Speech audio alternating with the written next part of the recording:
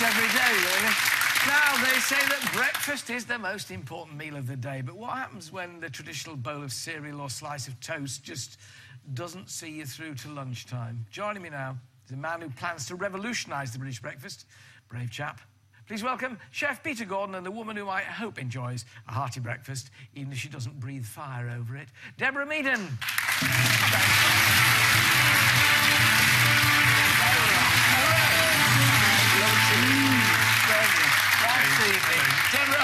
Are you a hearty breakfast eater? Well, I'm not actually. I enjoy a good breakfast when I eat it, but do you Yeah. know, I normally miss breakfast, and I know, I know, I know I should eat So, it. well, why should we eat it, Peter? What's the Well, it's reason? the, I mean, it's the start of the day, and I, I think it's the your day. If you have a good breakfast, you get off to a good day. but a people good worry week. about weight, you know. Well, they shouldn't worry as much if they eat properly during the day. So the breakfast, I mean, what I love about breakfast is if you go through Southeast Asia or India, or often breakfast can be a really spicy curry or something like a, I know, something with lots of flavour, lots Gosh, of that gumption. time of day, Deborah. Curry. It's the best way to have it, really. Otherwise, if, if, if you think that you have toast with butter, then that's a weight to put her on it. 'cause Yeah. it's, you know. But if you have something with a bit of um, oomph, a bit of chili, a bit of spice, So what do you reckon? What have we got here? We've got two here. See, which of these you fancy, Deborah? What's Okay. that? Well, this is kind of like a deconstructed muesli and fruit. So it's an apple stuffed with oats, a bit of honey, butter, and cinnamon. Blueberries and yogurt. Blueberries are good, full of antioxidants.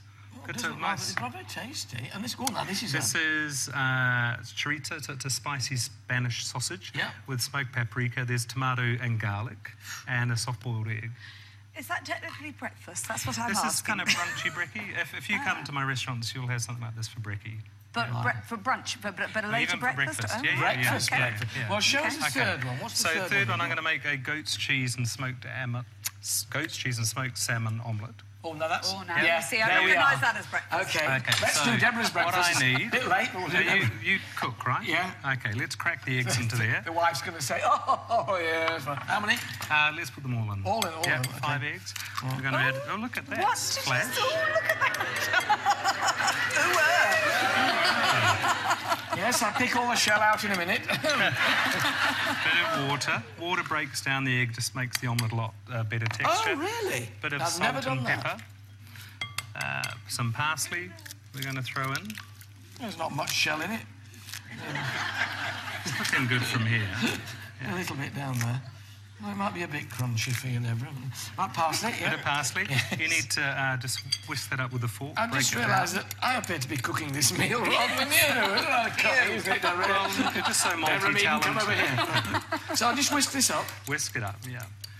Then So is this for one person? this is for two. We're going to make Oh, two omelettes right. here. Okay. Yeah. So what do you have for brekkie? Are you more a I porridge person? most mornings, and then once a week I'll let myself have a cooked one. Really? But porridge every day. Mm. Yeah. And so oti porridge. Yes. Yeah, we, we also make a porridge with brown rice. Ooh. And we use miso, which is a soybean Yeah. extract, and it adds a beautiful flavour to it. I always feel it's doing my blood good if I have porridge. Yeah, porridge. It's rubbish. You have porridge with rice? Yeah. Because I kind of thought porridge would be... The fact it's No oats mixing. is makes it porridge. Uh, well, it is, but a porridge also can be a gruel. So if you go through China or Malaysia or Singapore, where I was recently, you'll have congee, which is overcooked rice, which cooks for a long, long time. Then you have on things like thousand-year-old eggs. Uh, Thousand-year-old eggs. Yeah, thousand-year-old eggs. thousand-year-old eggs. to get Get this on. nice Yes, and where hot. are we? Right. Okay, Yes. you put half in each pan. Yeah. Get it So nice you and going. So you need two pans. Two pans for this. So you're two, two or three eggs, I think. We're going to crumble in some of the goat's cheese. Just Yeah, crumble just- it in. Yeah, crumble it in. Okay, I like goat's cheese. I love it. Some people don't like it. Deborah, are you a goat's cheese I fan? do like I goat's love it. cheese. It's This is of- getting better. Isn't it? All right, okay. Mm. Oh, I'm glad we're doing something in, in, in, a bit in each. A or- bit in each, yeah, yeah, yeah. Okay. Plonk it in. More Put a coming. bit of smoked salmon. Smoked salmon and smoked goat's cheese. Wow. Something you'd probably have eggs Benedict, wouldn't you, for brekkie? Oh, yes, that, yes. yeah, would you yes. ever put smoked salmon in an omelette Actually, something? yes. So, no, I will have smoked salmon for breakfast. I'm really going off my porridge. Yeah, let me give you a... Where's his smoked salmon going in? There you go. Goes, oh, thank you. It's very kind of you. Do you come here often? Hi, come here all the time. Thank you very much. Right, okay. Okay, we're going to get a... And you like to cook, not? Oh, now this is it, Deborah, oh, yes. no. You were wondering if we get round to oh, this, weren't you? Deborah Meaden, do you cook? Oh, I haven't cooked a meal in 25 years. Oh. So who cooks? Twen- Did I just? Did you just make me say that? did- well, he did, wasn't it? 25 years. Yeah, my husband is a fantastic cook and he loves cooking, so we don't fight over the kitchen. Okay. Ah. It's my way of keeping us happy. I do occasionally, yes, but again, you know, I'm not there. You know, generally, I get home when the meal's been sort of sorted because Mrs. T's a very good cook. Oh, really? And it's like having a good gardener. You know, why do you do it yourself? You've got somebody else who'll do it. You know. So. Ah. And the old saying goes up north: if you've got a dog, why do you bark yourself? Mm. Yeah.